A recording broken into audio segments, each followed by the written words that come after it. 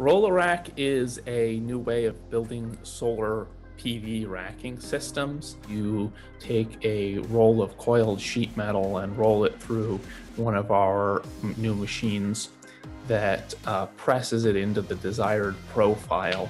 The builders just have to clamp the panels on to the rack.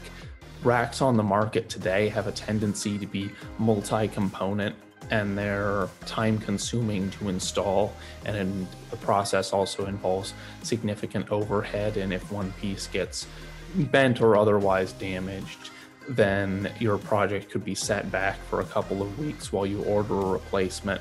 But with uh, the roller rack you just have to roll out a little bit more of the rack and you're good to go. Roller rack should cut the time to install by 50 to 80 percent. The issue of global warming is really unique, not just today, but in human history in its scope and urgency.